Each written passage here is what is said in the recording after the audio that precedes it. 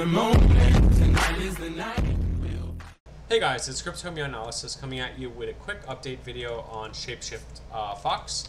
So again, this is since this is part of my rotation and my watch list. I make update videos regardless on if I posted yesterday or not. Uh, so here you go. Here's an update video for Shapeshift Fox. Uh, one of my members is, uh, you know, requested Fox, so I added it to my watch list. Uh, so remember I said that we if we don't get over the 236 or the 382, it's going to be bearish, and we smacked right against the 236 at six and a half cents, and we're falling off the table.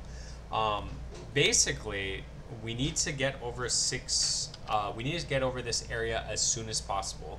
If we don't, then we are going to come back down to these lows. And as far as support goes, uh, I would say that around 53 absolutely needs to hold. So the, this is the key range for a Shapeshift Fox.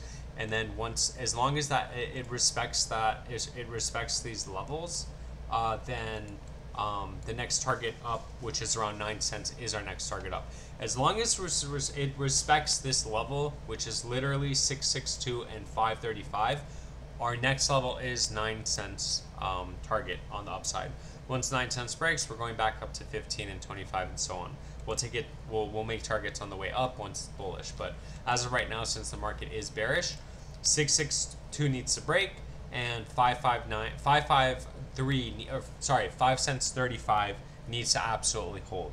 I want to kind of make it short and simple. I hope this makes sense. This is just my opinion. Please like subscribe comment. Thank you so much for your support. I will catch you guys in the next video